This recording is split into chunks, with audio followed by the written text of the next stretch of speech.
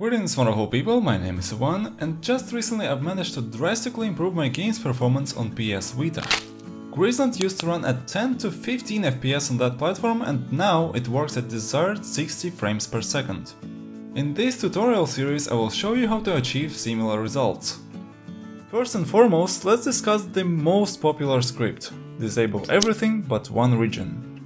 Being able to disable all the objects which are not being used at the moment is extremely useful, especially if your play area is as huge as mine. The idea is pretty simple.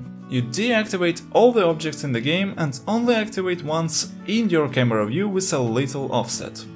It is a great method and the most efficient first step to reaching higher FPS values if you haven't done that already. If you are using Unity and want to achieve a similar effect, I suggest you to read the documentation about on became visible event along with occlusion culling. Since Grizzland was made in GameMaker, I want to add a few tips from my experience. First of all, most likely you have some controller objects in your game, like music player or screenshot taker, and they're not always inside the camera view. Thus you'll either need to put the scripts onto the camera or activate their objects separately. If you decide to activate a lot of objects one by one, which is very performance heavy, I recommend you to parent them to one Activate Me object instead.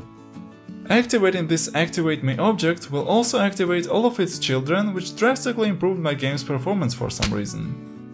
Another important thing to consider are mechanics like respawning, teleportation and anything else which may change camera position much faster than usual. In these situations, I suggest you to activate some small area around your destination before performing required action. And of course, don't forget that in probably every possible case, there is no need to run such a heavy function every frame, which is something we shall discuss in an upcoming video on this channel. Subscribe to the channel if you want to see more concise and practical game optimization tips and I'll see you in the next video. Farewell.